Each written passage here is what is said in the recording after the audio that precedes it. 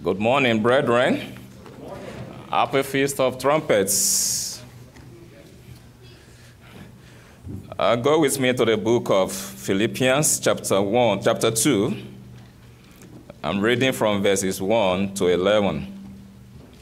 Philippians, chapter 2, reading verses 1 to 11.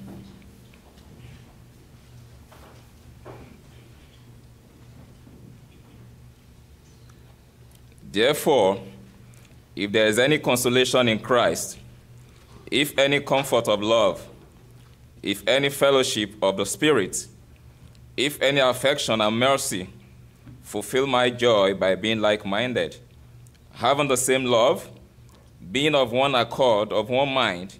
Let nothing be done through selfish ambition or conceit, but in lowliness of mind, let each esteem others better than himself.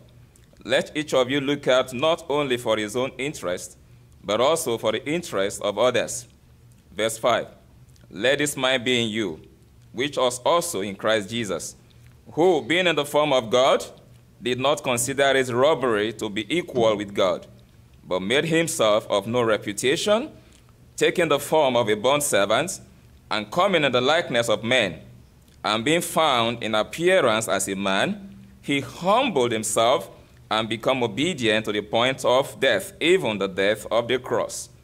Verse 9 Therefore, God also has highly exalted him and given him the name which is above every name, that at the name of Jesus every knee should bow, of those in heaven, and those on earth, and of those under the earth. And 11, and that every tongue should confess that Jesus Christ is Lord, to the glory of God the Father. I'm talking on the title, The Heart of Giving. The Heart of Giving in love, humility, and sacrifice. From the passage we have read, it is about Jesus Christ. Now, when we think about giving, or when we think about offering, our mind usually go to money or financial contribution. Even though this morning, after this sermonet, we shall be giving our offering, however, I want us to look at giving in a wider scope, especially in the context of the way God has demonstrated giving to us. Now, when we look at giving from the perspective of God, what God gave to us is His only begotten Son. He gave up Jesus Christ to die for our sin, the one who knew no sin. And even Jesus that was given to us, I want us to look at some attitudes, some things that Jesus demonstrated that we can learn from. And then that is going to help us in the way we live our life, in the way we conduct ourselves, day in, day out, as we await the return of our Lord and Savior Jesus Christ. Even the Feast of Trumpets that we are celebrating today, it is all about reminding ourselves the hope that we have that a time is coming in the future when the trumpet will sound and Jesus is going to come down and establish the government of God to replace the current government of man that we have. When you listen to the news, almost every day, you hear about war, you hear about poverty, you hear about suffering. From Nigeria, where I come from, today, an average family is suffering to live, to survive. But all this will be gone. But while we await the establishment of the government of God here, there are things that God wants us to learn and also live by so that people around us can be able to see that indeed, yes, we are people of God. So, once again, I'm looking at the heart of giving in the context of love, humility, and sacrifice, according to the way Jesus Christ has patterned it for us. I'll be looking at this in three parts. Now, first, looking at verses 1 to 4 of the chapter of the passage we read. In verse 1 to 4, Paul begins by urging the Philippians to make his joy complete by being like minded. Now, in a similar vein, we can make joy, I mean, we can make God to have joy over us by having a like mind, like that of Christ. And when we give, let it be out of love, not out of compulsion. Now, I'm actually targeting this sermonette to the youth among us. Now, when I look at the congregation here and compared with my congregation in Nigeria, there is a stark opposite. In terms of the population of the youth and the elderly. In Nigeria, we have more of the youth. In fact, the people that do song leading are mostly teenagers. And I would like to see teenagers here too, doing such here. And another reason why, one major reason why I'm targeting the youth is this. You know, when you look at the American society, many people, majority, don't have time for God. Majority don't even think about God. But the few youth that we have among us here, I want to encourage you. Do not be like those ones. Learn to know this God by yourself, not just because your parents want you to know Him. And when we talk about giving, it's not just all about money. Some youth might say, I am not working yet. I don't have any money to give. There are a lot of things we can do, even in the church. For example, when we celebrated uh, the elderly in the Columbia congregation a few weeks ago, it was a very young girl that organized the whole thing. In fact, I was so elated that, wow, a girl of about maybe in her 20s organizing a program for those in their 60s. It was highly encouraging. And I want as many other youth that are feeling there is nothing they can do yet to look out for what they can do. Even if you are not appointed to do something, you can ask. Approach the pastor. Is there anything I can do to be able to render service in the house of God? And the whole essence of giving, let it be out of the love you have for God.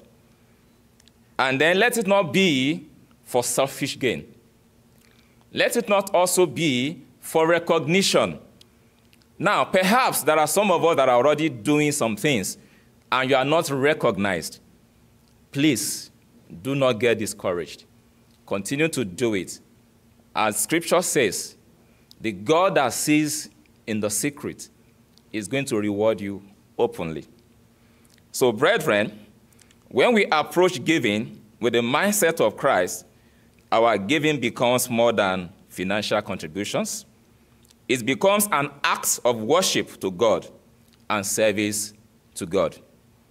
Second point, the example of Christ's humility. We read in verses 5 to 8 that even though Jesus was in the form of God. He doesn't consider it something that he has to hold on to, that even me, in the position of God, why should I go? Why should I belittle myself and go to that sinful world and go and die for those sinful people? People that have not been living their life to, to honor God. No, he humbled himself. Now, for the elderly, Perhaps you are assigned to do uh, a duty and you are feeling like, what kind of duty is this? It's belittle me. Please, brethren, let us not feel such. There is no service in this house of God that is little, that is small. Because with God, little can become so much.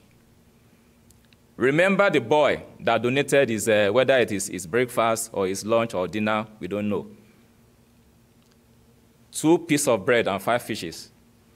He offered it.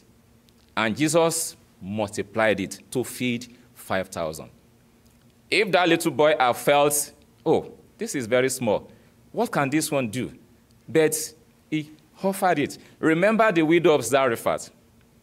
Even though there was famine, and she has very little to cook and eat, and then she and her son to die.